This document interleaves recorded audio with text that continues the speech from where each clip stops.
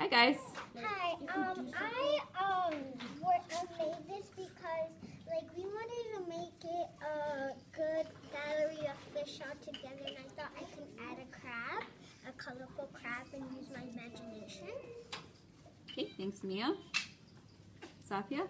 Um, I um draw this fish right here. Um, I wanted to draw it because this color looks like a pink, and my favorite color is pink. Awesome. Thank you. Okay, Jaden. My, well, okay. my favorite um, picture I drew was my favorite jellyfish because I this is my first time actually drawing a jellyfish and I didn't know how. I think you did a very nice job. Uh, You got the shapes and lines down perfectly.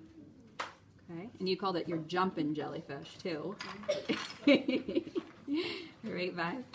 I made like the um, the sharks and the fish because I really like sharks and I really like crabs, which I also made, which are crabs.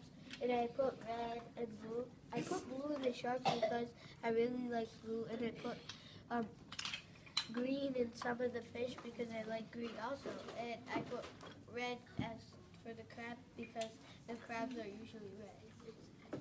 Awesome. Thank you guys. Welcome.